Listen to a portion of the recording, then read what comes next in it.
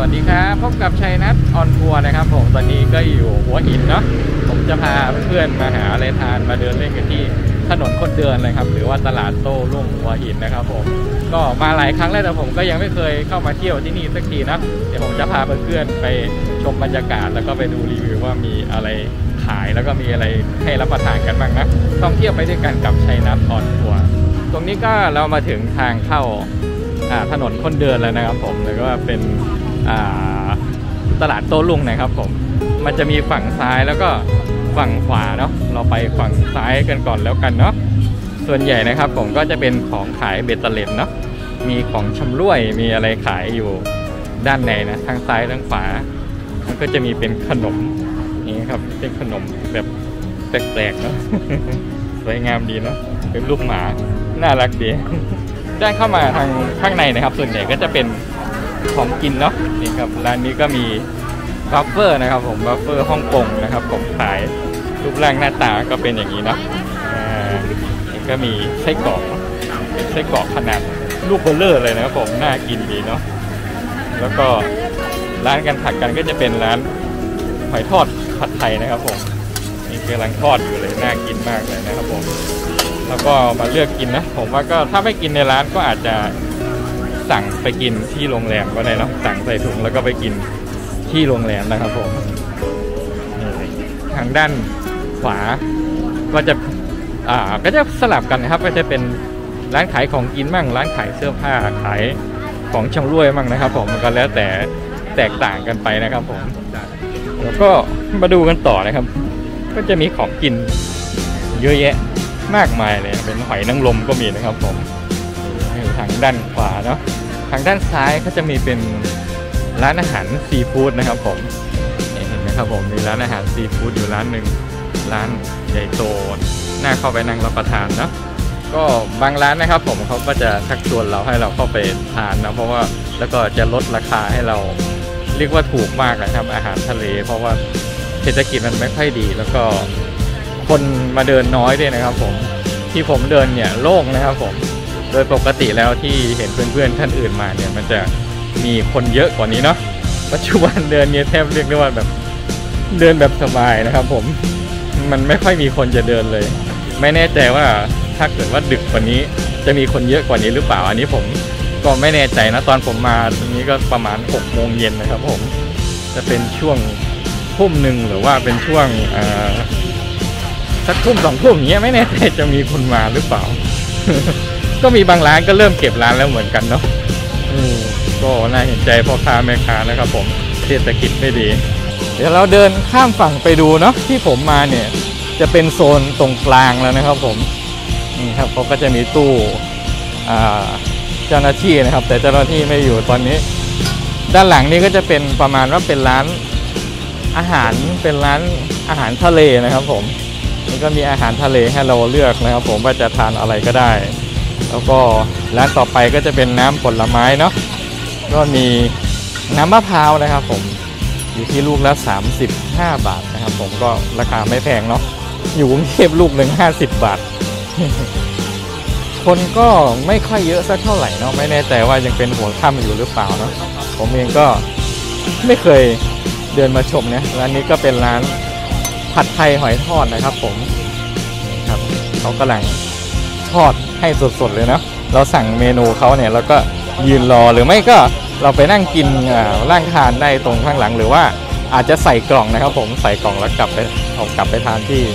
โรงแรมหรือว่าที่พักก็ได้นะร้านต่อมาจะเป็นนัดชังนะครับผมทาโกะนัดชังทาโกะ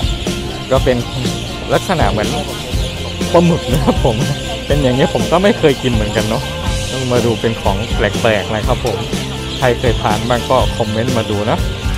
ร้านนี้อีกร้านหนึ่งก็จะเป็นร้านเคบับนะครับผมร้านนี้น่าจะขายประจำอยู่ที่ถนนคนเดินหัวหินนะครับ มาดูได้ ก็กำลังทำสดๆเลยนะครับน่าทานน่ารับประทานมากเลย วันนี้มาเดินถนนคนเดินก็เลยใช้เป็นกล้องตัวเล็กนะใช้เป็น DJI Pocket 2 นะครับผมก็มาลองดูว่าถ่าย ในยามแสงน้อยในช่วงกลางคืนเนี่ยจะเป็นยังไงบ้างนะก็น่าจะพอได้เนาะเดี๋ยวค่อยไปดูไฟล์ภาพในจอใหญ่กันอีกที ผมก็ไม่แน่ใจว่าภาพมันจะออกมาดีไหมไม้จะเยอะไหมก็มีนี่ร้านข้าวเหนียวมะม่วงนะครับผมข้าวเหนียวมะม่วงแม่อารีนะครับผมนี่ร้านนี้อยู่ใกล้ๆติดกันก็เป็นโรตีนะครับผมโรตีก็ทำให้สดๆเลยนะ อยากได้ไส้อะไรก็ สั่งได้เลยนะครับ ชื่อร้านอยู่ทางด้านบน ร้านนี้ก็ขายเป็นอาหารทะเลสดนะครับผมเนี่ยกุ้งตัวเบลเลอร์เลยโอ้โหนี่แล้วก็มีกุ้ง lobster นะครับผมกุ้งมังกรตัวใหญ่มากเห็นไหมครับผมอ่าสามารถที่จะชั่งกิโลแล้วก็ให้เขาทำอาหารได้ทานได้เลยนะครับ ร้านก็อยู่ทางด้านในนะครับผมเลยข้างในก็มีร้านรถไฟซีฟู้ดนะครับ อยู่ทางด้านในเออเขาก็ทำ สดๆให้เลยนะครับผม นี่ตัวเบลเลอร์เลย กุ้งมังกรกุ้ง lobster ก็คนค่อนข้างจะน้อยเนาะถ้าเปรียบกับเมื่อก่อนที่เห็นเพื่อนๆมาเที่ยวแล้วก็รีวิวกันคนจะเยอะกว่านี้นะครับผม ด้านหลังจะเป็นร้านอาหารทะเลเยอะแยะมากเลยนะครับผม นี่ก็เป็นอีกร้านหนึ่งนะครับผมร้านโอเคซีฟู้ดนะครับผมก็มีอาหารทะเลเนาะมีกุ้งตัวใหญ่ๆนี่แล้วก็มี lobster นะครับผมกุ้งมังกรอยู่ทางด้านหน้าปลากงปลาเก๋าก็มีนะครับ แล้วก็มีเมนูให้เรานะครับ ผมทำอาหารให้เราพร้อมเลย มีเมนูให้เราด้วย ก็มาเดินเล่นตลาดช่วงนี้ก็อย่าลืมใส่แมสกันเนาะเวลามาเที่ยวกัน หรือว่าอยู่ต่างจังหวัดอยู่ที่ไหนก็อย่าลืมแมสนะครับผมช่วงนี้เป็นช่วงโควิดระบาดเนาะก็คนคิดว่าคนค่อนข้างน่าจะน้อยเลยเนาะเมื่อก่อนนี้คนน่าจะเยอะกว่านี้ครับ ช่วงนี้เป็นช่วงโควิด แล้วก็ เป็นช่วงที่คนท่องเที่ยวน้อยนะครับผมผู้ประกอบการร้านอาหารร้านค้าโรงแรมนะครับ ผมก็ได้รับผลกระทบเนาะบางทีลงทุนไปแล้วเนี่ยขายไม่ได้ทุนนี่ก็แย่เหมือนกันนะครับผม ก็ค่อยๆมาเลือกดูเลือกหาเนาะยิ่งแบบมาช่วงหลังๆ นี่คนก็น้อยลงน้องคนน้อยลงกว่าข้างหน้าเยอะเลยนะครับผม ก็ช่วยกันมาเที่ยวมาอุดหนุนกันเนาะไทยช่วยไทยนะครับผม ต่างชาติเนี่ยไปพึ่งไม่ได้ แล้วก็ต่างชาติเขาก็ติดโควิดเหมือนกันติดหนักกว่าเราอีก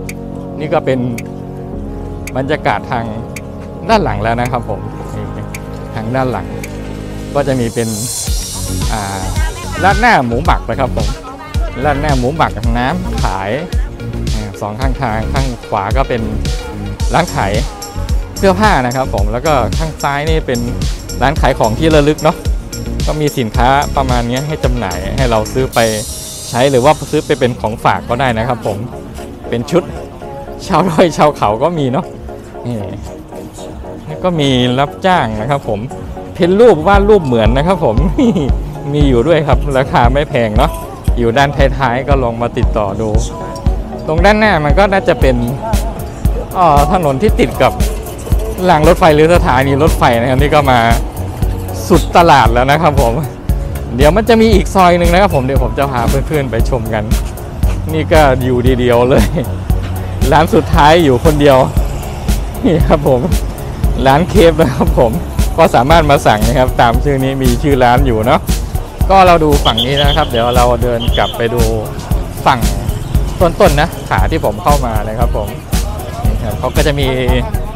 เจ้าหน้าที่นะครับคอยอำนวยความสะดวกให้อย่างดีเนาะเวลาข้ามถนนนะครับผมอ่าเดี๋ยวนี้เราเดินมาดูฝั่งทางด้านขวาของทางเข้าตลาดนะครับ หรือว่าทางขากลับเนี่ยจะอยู่ฝั่งฝั่งทางด้านซ้ายนะครับผมเขาก็จะมี ส่วนใหญ่ตรงนี้จะเป็นเสื้อผ้านะครับผมเสื้อผ้าคุณสุภาพสตรีนะครับผมสีสวยสดใสนะครับผม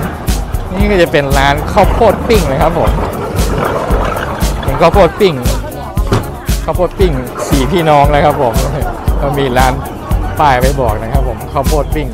สี่พี่น้องหอมดีนะแล้วก็มีกล้วยปิ้งด้วยเออน่ากินเนาะกล้วยปิ้งเราก็เดินดูกันต่อไปนะครับ ผมมันก็จะมีอาหารน้องก๊อฟก็ซื้อเป็นอาหารทะเลนะครับ ผมแล้วก็ซื้อห่อกลับไปกินที่โรงแรมนะครับ ผมที่พักด้านซ้ายก็มีคนมามุงดูอยู่ ก็เป็นร้านข้าวเหนียว มะม่วงอ่า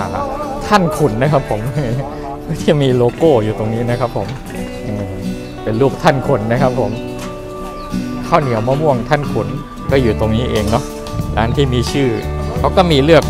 ให้เลือกแบบหลายแบบเนาะเนี่ยใส่กล่องแบบกินได้เลยก็มีสะดวกสบายดีเนาะทางด้านขวาก็จะเป็นร้านขายของทั่วไปเนาะมีทั้งเสื้อผ้าแล้วก็ของกินสลับกันไป ถามพ่อค้าแม่ค้าแถวนี้เขาก็บอกว่ามันวันนี้ผมมาถ่ายเนี่ยมันเป็นวันวันที่หนึ่งมกราคมนะครับผมก็คนน้อยเนาะในส่วนของเมื่อวานนี้วันสิ้นปีเยอะไหมเขาก็บอกว่าไม่เยอะนะครับก็ประมาณนี้เนาะนี่ก็จะมีปลาหมึกหลายขนาดเลยเนาะให้มาเลือกซื้อแล้วก็ปิ้งให้สดๆเลยเนาะอยู่ทางนี้น่ารับประทานเนาะนี่ครับก็เป็นบรรยากาศตลาดคนเดินนะครับ หรือว่า ถนนคนเดินนะครับผมตลาดโต้รุ่งหัวหินนะครับ คนน้อยมากเลยเศรษฐกิจไม่ดี เราจะอยู่กันยังไงเนาะก็ต้องอยู่กันต่อไปให้รอดนะครับผมขอเป็นกำลังใจให้เพื่อนๆทุกคนสู้ๆนะครับผมยังไงมันก็มีทางออกไปสักทางหนึ่งเนาะสู้ไปด้วยกันนี่ครับ ก็ดูก็มีร้านอันนี้จะเป็น เขาเรียกว่าเป็นเย็นตาโฟหรือเปล่าผมไม่แน่ใจนี่ก็เป็นลูกชิ้นหัวหินนะครับผมร้านลูกชิ้นหัวหิน แล้วก็เป็นร้านโรตีนะครับผมถัดมาก็จะเป็นปังปิ้งนะครับปังปิ้งเต่า แล้วก็เป็นบัวลอยไข่หวานหรือขนมของหวานอะไรนะครับ ร้านนี้คนมายืนรอเยอะเลยนะครับ ผมร้านชานมเย็นนะครับผมเขามีให้ดูอย่างนี้เลยเนาะแล้วก็ชงให้กิน สดๆเลยในควันขึ้นร้อนๆเลยหมึกแห้งก็มีนี่หมึกปิ้ง เลือกเอาเลยนะครับผม เดี๋ยวนี้หากินยากแล้วนะแบบนี้ข้างๆกันก็เป็นหมูอบโอ่งนะครับผม มาดูหมูอบโอ่งนะ หน้าตาเป็นอย่างนี้เนาะน่ากิน ก็มีคนมารอซื้อกิน เยอะและเยอะแยะเลยนะครับผม หมูอบโอ่งแล้วก็มีซี่โครงด้วยเนี่ยซี่โครงก็มี ตรงนี้ก็จะเป็นร้านขายอุปกรณ์ ของเสริมมือถือนะครับ ผมก็เป็นเคสเป็นอะไรโทรศัพท์ แล้วก็มีของเล่นนะครับผมของเล่นคุณหนูหนูแล้วก็มีร้านเพชรพลอยนะครับผมนี่เป็นต่างหูเป็นเครื่องประดับประมาณอย่างนี้เนาะให้เรามาเลือกซื้อกันได้ร้านนี้ก็จะมีเป็นกระโปรงกระเป๋า handmade นะครับผมหมวกสำหรับคุณสุภาพสตรีนะครับผมแล้วก็มีเป็นห่วงยางนะ ห่วงยางยูนิคอร์นเอาไปเล่นน้ำ ที่ชายหาดได้นะครับผม เดี๋ยวผมตอนที่ผมมาเนี่ยวันนี้ตอนเช้าลมแรงแล้วก็คลื่นแรงมากเลยวันนี้คลื่นที่ทะเลชายหาดแรงมากเลย อันนี้ก็มาสุดทางด้านหน้าอีกแล้วนะครับผม อันนี้ก็จะเป็นร้านขายของเล่นเนาะ เป็นพวงกุญแจอะไรพวกนี้นะครับผมก็สามารถเลือกซื้อเลือกหากันได้ ร้านสุดท้ายตรงนี้ก็จะเป็นร้านโรตีอินเตอร์นะครับผมเขาก็จะมี เมนูให้ดูนะครับผมนี่มีเมนูแล้วก็มีเป็นจานอย่างนี้นะนี่โรตีอินเตอร์ว้าวเราก็ออกมาทางด้านหน้าแล้วนะครับผมนี่ก็เป็นถนนนะครับผมที่รถวิ่งผ่านอันนี้ถนนหลักของหัวหินนะครับผมคนก็บางคนก็กลับบ้านบางคนก็เพิ่งมา อันนี้ก็จะเป็นร้านแรกที่ผมเดินเข้าไปนะครับ มาเที่ยวหัวหินอย่าลืมแวะ กินเครปอร่อยอร่อยนะครับผมที่นี่ก็เป็นร้านเครปนะครับผมร้านเครปที่มีหลายรสหลายสไตล์เลยนะครับผมตามเมนูนี้เนาะนี่มีเมนูให้เราเลือกชมเยอะแยะเลย ด้านหน้าเขาก็จะมีเก้าอี้นะครับทางขวานะครับ สั่งแล้วก็มานั่งรอคิวนะครับ จัดตามคิวเนาะเรียงตามเบอร์เสร็จแล้วเขาก็จะเรียกตามเบอร์ตามคิวเนาะก็ไปรับเครปมากิน อย่างนี้ก็มีคนเพิ่งมานะครับผม แต่โดยรวมแล้วก็คนยังน้อยอยู่นะครับผม คนเดินตลาดวันนี้ค่อนข้างจะน้อยมากเลย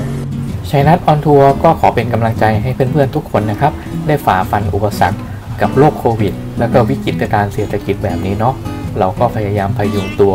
แล้วก็หวังว่ามันจะผ่านพ้นไปโดยไวเนาะก็ขอเป็นกำลังใจให้เพื่อนๆทุกคนได้ฝ่าฟันกันไปได้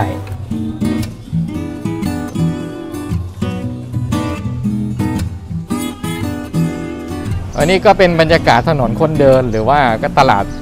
โต้รุ่งนะครับ ผมหัวหินที่มีเสน่ห์มีมนขลังนะครับ ผมที่ใครๆมาก็ต้องมาเช็คอินกันเนาะคลิปนี้ก็เป็นคลิปสั้น ๆ นะครับ ผมเดี๋ยวผมจะขอตัวเพื่อนๆกับที่พักนะครับ ผมแล้วก็จะไปนั่งกินข้าวกับน้องก๊อฟเพราะว่าน้องก๊อฟสั่งเป็นอาหารทะเลนะครับ ก็ถูกๆนะช่วงนี้ก็คือเขาลดราคาให้เราเยอะเลยนะครับ ผมช่วงนี้ไม่ค่อยมีคนแล้วก็เป็นช่วงโควิด มันก็ ขายของไม่ค่อยดีกันนะเขาก็ลดราคาพิเศษเรียกว่าลดเกินครึ่งนะครับผม ก็ซื้อมากุ้งอย่างที่เคยกินก็ราคา 3 4 0 0 นะเดี๋ยวนี้เหลือร้อยกว่าบาทโอ้โหกุ้งตัวเท่าแขน